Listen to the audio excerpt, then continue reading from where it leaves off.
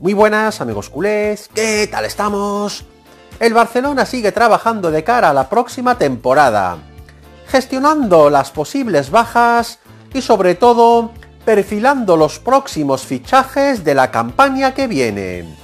Pues bien, atención a esta noticia de última hora.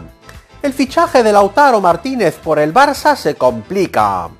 El Inter de Milán no da su brazo a torcer y solamente quiere a Antoine Griezmann como trueque o que se pague su cláusula de 111 millones de euros. Y el club blaugrana no parece por la labor.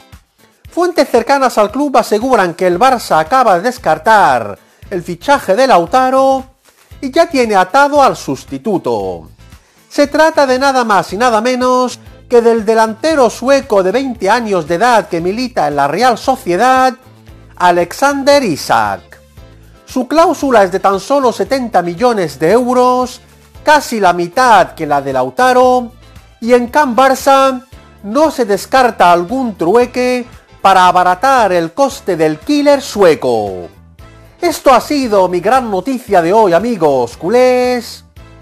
No os olvidéis suscribirse a mi canal, que no os cuesta nada, pulsar un like como siempre, y dejarme comentarios para cambiar opiniones.